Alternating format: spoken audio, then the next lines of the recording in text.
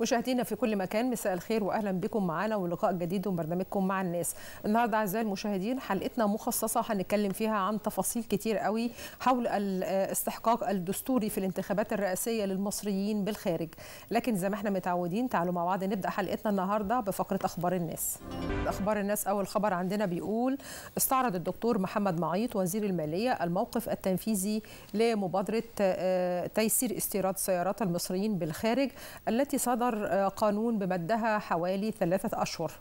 وبدأ التطبيق الإلكتروني في تلقي طلبات الراغبين في ظل توجيهات بالعمل على تسريع إجراءات إصدار الموافقات الاستيرادية لسيارات المصريين بالخارج. الخبر الثاني من المحافظات بيقول مصر بلا شلل أطفال.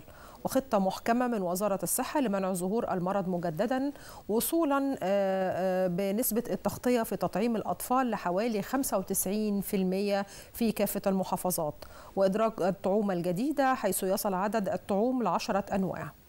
بعد الفصل أعزائي المشاهدين هنلتقي وفقرة مشروعات الناس مشاهدينا في كل مكان ونحن على أبواب مرحلة جديدة من استحقاقات فارقة في بناء الدولة المصرية الجديدة وهي الانتخابات الرئاسية أحد الواجبات التي حققها لنا الدستور المصري وأصبحت المشاركة بالتصويت جزء أساسي من المواطنة. ندعو الجميع إلى القيام بواجبه في ممارسة الحق الانتخابي في الداخل والخارج لتعبر مصر مرحلة البناء للمستقبل. أصدقائي وزملائي المصريين المقيمين بالخارج انزل وشارك في الانتخابات الرئاسية. مش مهم تدي صوتك لمين المهم تنزل وتشارك. عايزين نثبت للعالم إن المصريين في الخارج هم فعلا ولادك سندك يا مصر. البلد بتمر بمرحلة الكل يعلمها. البلد محاطة بالمخاطر من كل الاتجاهات. انزل وشارك وادلي بصوتك حقك تدي صوتك للي انت عايزه. محدش بيجبرك تصوت لمين. لكن المهم تنزل تشارك في العرس الانتخابي. ولادك سندك يا مصر. المهم حماية وطن. علموا أولادكم حب الوطن. تحيا مصر. تحيا مصر. تحيا مصر. الهيئة الوطنية للانتخابات. دورنا نحمي حقك ودورك تمارسه. شارك. صوتك هيوصل. إحنا النهارده واقفين على عتبة لحظة فارقة في حياتنا. لحظة هتحدد مسارنا نحو المستقبل. طبعا في ظل حالة الاضطراب التي يشهدها العالم الانتخابات الرئاسية ما بقتش مجرد إجراء رسمي بل هي تجسيد لصوتنا وإرادتنا. فشارك بصوتك لأن صوتك هيصنع مستقبلنا. شارك بصوتك في رسم مستقبل أفضل لمصر. شارك بصوتك لأن في كل صوت رسالة رسالة بتقول إننا بنحب هذا الوطن. وإننا طبعا بنحلم بمستقبل أفضل لأولادنا. شارك بصوتك لأن في كل صوت قوة وفي كل اختيار أمل فلا تكتفي بالمشاهدة وكن صانع القرار.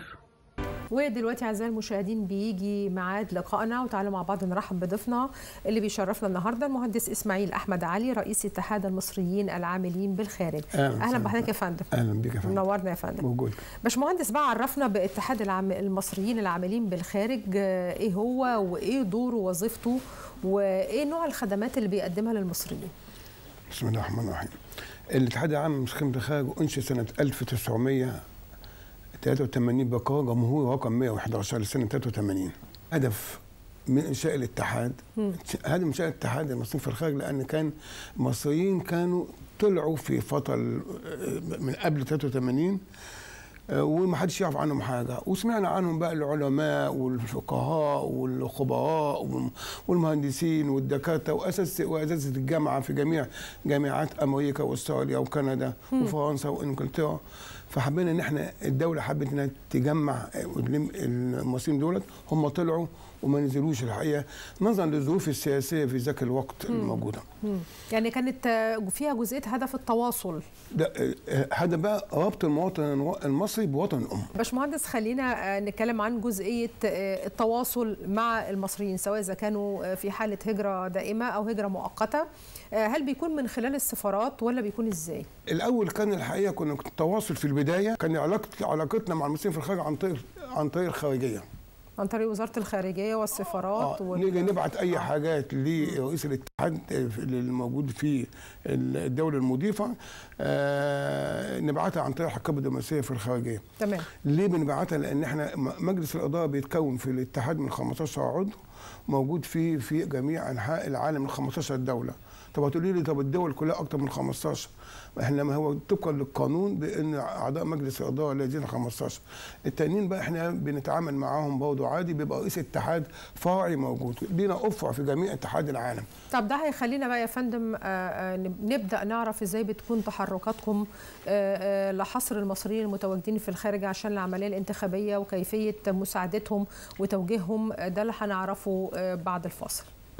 بنرجع مرة تانية معاكم أعزائي المشاهدين وباشمهندس بقى قول لنا آه، إيه الخدمات اللي بتقدموها للمصريين في الخارج في فترة ما قبل الانتخابات؟ طبعا كتير من المصريين بيبقى عايزين يبقى في تواصل عايزين يبقى في معلومات عايزين يبقى في آه، بيسألوا عندهم استفسارات آه، المواعيد وما إلى ذلك. بيتم التواصل إزاي وبتقدموا لهم المساعدة إزاي؟ طبعا إحنا في انتخابات سنه 2014 و2018 إحنا كنا ماسكين العملية وبنرتبها مظبوط بتمام يعني الحقيقة بالنسبة للانتخابات. آه الانتخابات آه 2024 دي إحنا بقى لنا أكتر من شهر أو شهر شوية بنرتب لها مع ال- الدول كلها. إحنا هنا افرع في جميع أنحاء العالم. آه، في رئيس فرع موجود في كندا في استراليا في السعودية في أمريكا في في في, في دول الخليج كلها في دول. أوروبية كلها. هل بتبقى خطة واحدة في كل الدول طبعاً، ولا طبعاً. يعني خطة مركزية آه. وبتطبق في كل ال بيطبق بقى. بنعمل اجتماعات عاملين اجتماعات بقى أكتر من شهرين مش شهر ونص كمان بنعمل اجتماعات عن طريق الزوم. تمام. وبنرتب معاهم إزاي إيه الترتيب وإيه النظام اللي هيتبع في الانتخابات. إزاي؟ لأن في دول أو أكتر الدول ملهاش مثلا إلا قنصليه أو قنصليتين أو سفاره في البلد. طب الناس اللي هي وفي دول متواميه الأطراف آه بتبقى مساحتها كبيرة وبيبقى ال- همسك آه، مثال عشان ما نضيعش الوقت. مثلا مثال في السعودية وفي أمريكا. السعودية ما فيهاش إلا قنصليتين قنصليه آه، سفاره في الرياض وقنصليه وقنصليه في جدة. طيب السعودية متواميه الأطراف. طب بتاعة جدة دي حواليها مين؟ حواليها دول يعني آه، المدينة المنورة والطايف ومكة وأبها وخميس مشيط و... طب الناس دي و- و- واقرب بلد 70 كيلو أو 80 كيلو هي مكة. مكة. في الطايف بقى وأبها كلها 100 و120 150 طب دول هيجوا إزاي؟ يبقى هنا بقى الاتحاد العام للصين في الخارج بينظم العملية دي عشان أجيب الناس ديت من الدول البعيدة عن مقر اللج- اللجان ننقلهم على ال ال خلال الأيام التصويت إمارات نفس القصة الكويت. الدول كلها بتيجي بقى هنا آه، دي دي تجميع للناس وبننجح بنسبة 80 70 90% الحقيقة فيها. إن إحنا بنجمع الناس مش سهلة. هنطلع فاصل مع حضرتك يا فندم وبعد كده نرجع نواصل حديثنا. تنزل وتشارك في الانتخابات. تنزل وتبعت رسالة للعالم كله. دي الرسالة اللي إحنا المفروض نوجهها للعالم كله النهاردة. النهاردة في اختبار دقيق جدا. اللي بيحصل حوالينا دون الخطر اللي في العالم كله الخطر اللي في الشرق الأوسط. طبعا لازم نعي إيه اللي بيحصل في المنطقة. مصر لن تسقط أبدا. لن تسقط مصر أبدا. وتحيا مصر. الانتخابات حق كفله القانون والدستور لكل واحد سواء مصري غير مصري. فإحنا بنتكلم على الانتخابات الرئاسية في مصر. كل واحد له رؤية بنقول لك انزل انزل وادي صوتك. لأن صوتك ده امانه اولا وده من حقك قانونا ودستورا إنك تروح آه، تحط صوتك في الانتخابات. آه، دايما حط مصر صوب عينك وإن المرحلة الجاية صعبة جدا إن مصر محاطة ببعض المخاطر. كلنا شايفين الوضع. آه، مع حضراتكم مرة تانية مع ضيفنا. باشمهندس قول لي بقى إيه الوثائق اللي بتبقى مطلوبة اللي هو المفروض الشخص يكون جاهز بيها؟ إيه الشروط برضو اللي بتخلي المواطن إن هو يكون يعني مسموح له إن هو. يشارك في هذه الانتخابات. التصويت طبعا طبقا للقانون إن دو يعني دون 18 سنة. يعني 18 سنة فما فوق هو اللي بي اللي بيتم منها. ويكون معاه بطاقة شخص الرقم القومي. و الرقم القومي أو الباسبور. يعني هو موجود في الباسبور. آه. الرقم القومي في الانتخابات الرئاسية مش مهم إنه يكون ساري مفعول. البطاقه الشخصيه مم. يعني لو بطاقة قديمة ما فيش مشكلة. مسموح. في الانتخابات الشخ... الرئاسية فقط. تمام. بالنسبة لجواز الجواز لازم يكون سعر المفعول آه، طب لو اتكلمنا على فترة ما قبل بقى ال ال التصويت هل بيتم مثلا نشر بعض المعلومات؟ هل بيبقى في آه، حاجات للتوعية أهمية المشاركة من خلال السفارات ومن خلال القنصليات؟ ندوات يمكن أسبوعية من قيمة شهرين لكل فرع في الفروع الاتحاد العام والصين في الخارج لكلام اللي حضرتك بتقوليه دوت بيوعوا الناس على الاستحقاقات الدستورية وإزاي تشارك لازم تشارك في آه، في حقك الدستوري في آه، في انتخاب من تراه مناسبا ليك. ونديله بقى الفرصة كل واحد بقى بيتكلم عن مرشحه. يعني حضر- حضر- حضرتك إنما إن إن إحنا لازم نديهم توعية كاملة ولازم لازم تحضر لازم تحضر لازم يكون في آه، تجمع ولازم يكون في كثافة عشان نوري للعالم كمان إن إحنا كمصريين مهتمين بالانتخابات بتاعت بلدنا. تمام. وده حق دستوري إحنا اكتسبناه ما كانش زمان كده يا- يا مدام نيفين بيبقى في حملات يا. فندم للتوعية وحملات للتشجيع للمشاركة ومثلا بيبقى في مساعدات خاصة واهتمام خاصة بأصحاب الإعاقات إن هو تسهيل الحركة عليهم والانتقال عليهم علشان فعلا يشاركوا آه، في في التصويت. آه طبعا. ما أنا قلت لحضرتك إن إحنا إحنا إحنا بن بنسهل للناس حركة الانتقال. اللي هو لل- لل- لل- للمدن البعيدة عن آه، مكان اللجنة نفسها. بنرجع مرة تانية معاكم أعزائي المشاهدين وباشمهندس بقى قول لنا هل في خدمات خاصة للمعاقين؟ آه طبعا. وللمعاقين. لأن المعاقين بيبقى في اتوبيسات خاصة ليهم وفي مواقف خاصة ليهم اللي موجودين فيهم. إحنا عاملين للمعاقين في بالنسبة لو- ل- ل- لمنطقة السعودية في الرياض عاملين عاملين اتوبيسات في المنطقة الشرقية اتوبيس خاص للمعاقين. قايمين بيها الحقيقة الجالية اللي موجودة آه، في الدمام في. منطقة الدمام. دي. مهمة جدا. في أمريكا نفس القصة برضه في كاليفورنيا في آه، وفي في نيويورك فيه. طب وداخل اللجنة وداخل اللجنة طبعا بيكونوا بالنسبة للمعاقين بيبقى لهم الأولوية لهم سهولة للدخول اللجنة. قبل آه، ال- الأشخاص العادية. جميل. طبعا. آه، آه، برضو في اللجان لازم يبقى في متابعة للعملية نفسها آه، الانتخاب نفسها عملية التصويت بيبقى في بعض الاستفسارات بيبقى في بعض التساؤلات منهم. فبيحصل التواصل إزاي؟ وبيحصل يعني هل بيحصل بعد كده متابعة مع المصريين بعد عملية التصويت نفسها؟